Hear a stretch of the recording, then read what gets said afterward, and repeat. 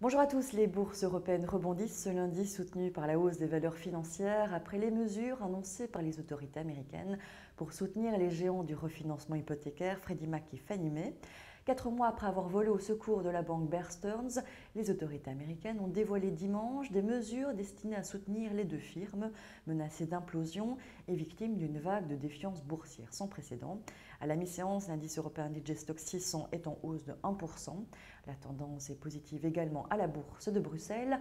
En fin de matinée, le Belvin est en hausse de 0,94%. Le marché est soutenu par la progression de plus de 2% d'Inbev qui a réussi son offre de rachat d'Anheuser-Busch.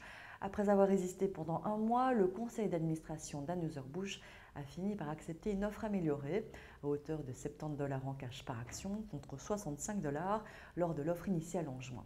Voilà qui termine ce point bourse. Merci de votre attention. À bientôt.